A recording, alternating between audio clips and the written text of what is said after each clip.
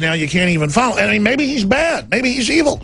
All I know is I have mountainous corruption hanging out in my face, in your face, in our collective face, and nothing's being done about it. So to recap, there was a shooting at WDBJ television in Virginia. Vester Flanagan was at the affiliate. Twitter account suspended after first person video of shooting posted. We have played that. We have the graphic full video up on Infowars.com. The cops now say suspect in the murder shot himself is in critical condition. First, they thought he was dead. Uh, but he does supposedly have a light pulse. And uh, he's a guy that worked his way into TV uh, from the bottom, ended up being able to be a reporter, uh, ended up being able to uh, at TV stations across the country, but continually had to leave those stations after he filed EEOC reports and lawsuits. And you know, you look at him 10 years ago, he looked like a pretty normal guy and looked like reporter material. Uh, you look at him now, I mean, he looked completely whacked out of his mind. And I am predicting that he was on drugs, just like I took one look at Dylann Roof and I said, I bet he's on amnesics.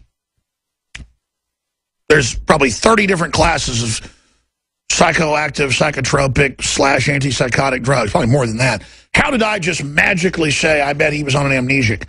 Because I saw how Sirhan Sirhan looked in photos and film. I've seen how most of these people look, and when they're on an amnesic, you really better look out. And that always points towards it being staged as well, because people won't remember, and you can tell them, oh, you did the crime. McVeigh was given amnesics in prison. That's why he'd tell people next to his jail, I'm innocent, I'm former Special Forces, secret operations, which we got all the documents on. We know he was set up. I was infiltrating right-wing groups. I didn't want to be part of the bombing. He told Larry Nichols that. We've had Larry Nichols, uh, the guy from the cell next to him on, from death row.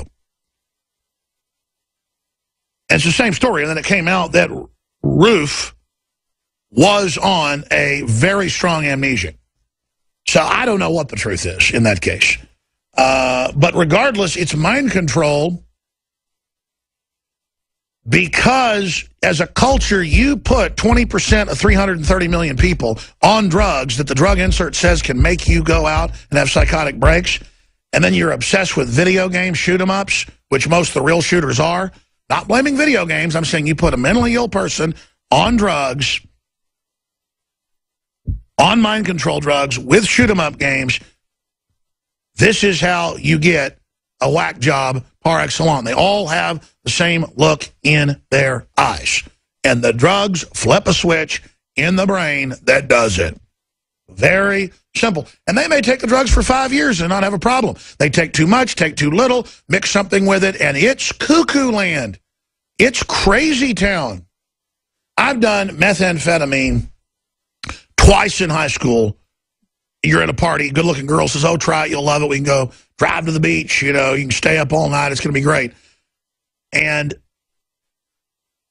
a day later, I'm at the beach doing bad things. Nothing really horrible, but, you know, not being a very nice person. Some of the few things I've done in my life that weren't very, and I'll tell you, I put cigarettes out on my hands. We're all sitting there on methamphetamine putting cigarettes out. I have burns from those now when I was like 15 years old. I would never do that. That's what hardcore drugs do, ladies and gentlemen. Did it twice. Twice. There's people that have done it thousands of times. They look like space aliens. I don't care if you're black or white or Hispanic. Walking down the street, I can go, that's a meth head, that's a meth head, that's a meth zombie. And it is the pharmacological system that's causing this. It's the main cause. Societal degeneration, family unraveling, guns everywhere. That obviously adds to it. But you can't take my guns because there's a bunch of whacked out, drugged out people running around. It comes down to that. That's what hardcore drugs do. And I only share these stories to try to help people. I want to open the phones up on the Charleston situation that ties in to the Virginia situation They're trying to push a race war. This is clearly part of that with highly suggestible people. Obama is coming in with massive executive pushes outside of law where they're just announcing for more than 100 reasons they're going to look at all the Social Security recipients and if you're paralyzed from the chest down or you do automatic money transfer, you're going to be declared incompetent outside of law. You used to have to have a big court hearing and a trial for that. But they're just going to declare you incompetent, and there's no judge, no jury. They just come and take your guns, or you can't buy guns. And it's happening to veterans all over the country. Now what they've done to veterans is going to be moved on to the older folks in America, 65 and up and, and then it's going to move on to everybody else. This is how tyranny works. It targets certain groups and slices, and he's, he's, he's promising a whole bunch of other initiatives. And, and you can believe it's coming. You can believe it's here. You can believe this is the big push.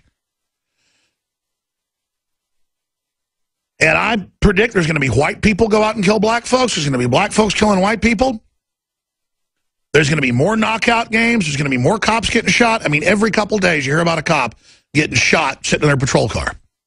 And in almost every case, it's in a black inner city area, and the person does it because of the Black Lives Matter. Or two dumb white kids come into Detroit to buy crack, and the guy takes them to a field and tortures them to death after he ties them up and says in court, because they're white, and Black Lives Matter, as if it's going to help black people to go out and kill two stupid crackhead white kids as if those stupid crackheads were doing anything to you but trying to put money in your stupid pocket. But that's how whacked out this is. 800-259-9231, 800-259-9231. In any emergency, in any crisis, in any uh, type of situation, the number one thing you need is to be prepared. And one of the best ways to do that is with colloidal silver. We have the best colloidal silver already at the lowest price. 30 parts per million made by the top lab in the country, private labeled for us, normally $30 when competitors sell the exact same thing. We have it for $19.95. Sometimes it's $24.95.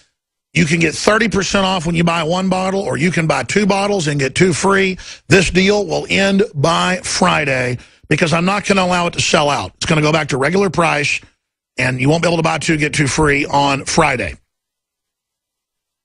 But I'm going to, again, keep this deal up until Friday, and then I'm going to keep what we have left so we can not sell out until the next group comes in in October. Because it's a problem selling out of stuff because I offer so many specials. Super Male Vitality's back in stock. Uh, uh, uh back in stock is Secret 12, the best vitamin B12 out there, methylcobalamin, pharmacological, pharmaceutical grade, Absolutely amazing. Infowarslife.com or 888-253-3139. Prostagard's back in. Truly organic um, Roman and Mediterranean uh, oil of oregano and a bunch of other great products. Infowarslife.com or 888-253-3139. DrudgeReport.com is linked to the video that we've posted. The video is getting pulled down, but we'll have copies of it go up so they're not able uh, to keep the public from seeing it, where he, in first person, shoots the woman. And you don't see any blood. Uh, it's really not even that graphic, but it shows how cold-blooded it is. Uh, and I wonder if the media is going to point out that he said he did it because they were racist, and this is basically a Black Lives Matter spillover. I mean, this is what the media is pushing. This is what gets promoted on Twitter. Whites are being dehumanized as these monsters that deserve to die. And then DrudgeReport.com links to Infowars.com where you can see the video for yourself. And again, we're showing this not to be macabre. We're showing it because in the 60s, we saw footage of kids being napalmed in Vietnam. So we have a right to see this. But yes, warning, it is graphic video. And we should probably also uh, point out, and we do point out in the article, that this is being pushed out of the news that he did this saying that she was racist and basically deserved it. Because they want to make it all about the Second Amendment and blame all gun owners, black, white, Hispanic, Asian, old, young, Native American, immigrant, whatever. They want to blame gun owners as if we collectively, it'd be like if somebody ran over their neighbor's foot with a riding lawn mower. And they went on TV and went, you people that have riding lawn mowers, you are all to blame. How do you feel? Somebody killed somebody with a riding lawn mower. Hundreds of people a year get killed when psychos run over them with cars. Do we blame? There was a Toyota truck, a Toyota Tundra, and he ran over his wife with it. How do you truck owners feel, huh? You want to apologize? Want to pay some reparations? No. I am individually responsible for what I do. And the hallmark of a totalitarian society, in every case, is that you're collectively blamed for what individuals do. In Russia, in Nazi Germany, you would be blamed